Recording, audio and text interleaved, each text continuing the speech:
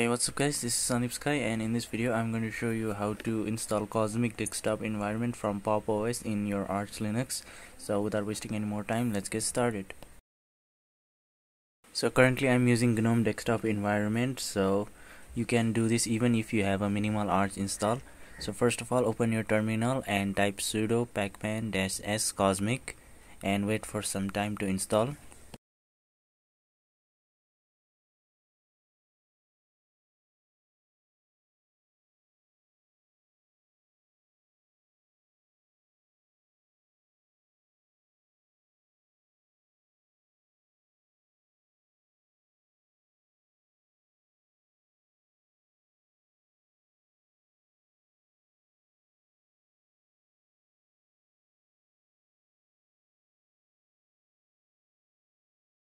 so finally it has finished installing cosmic desktop.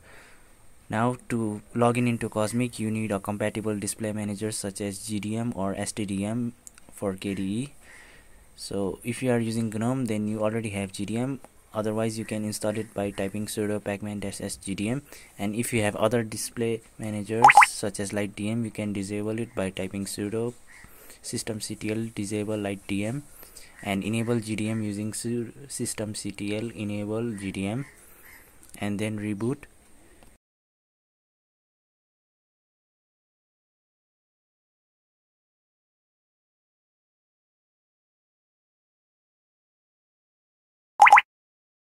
Now if you are using a nvidia gpu then you need to do this additional step. Type sudo nano slash etc slash gdm slash custom.conf and make sure to uncomment this wayland enable equals to false and rename it to true.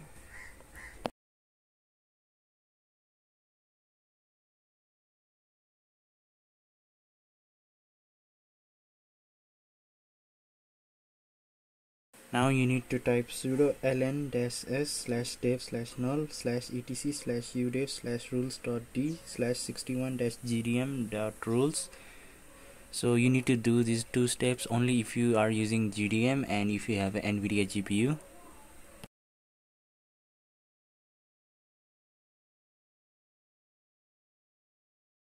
now it's time to restart the PC and once you restart you will boot into GDM and if you click the settings icon at the bottom right now you will see the cosmic option choose cosmic and enter your password. Now you will boot into the cosmic desktop environment.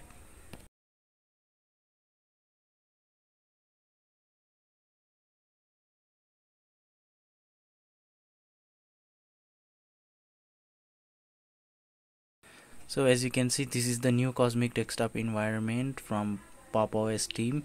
And as it is quite beautiful so that's it for the video guys. Thank you for watching. I hope you found this video helpful. And if you did please leave a like and subscribe to my channel. Thank you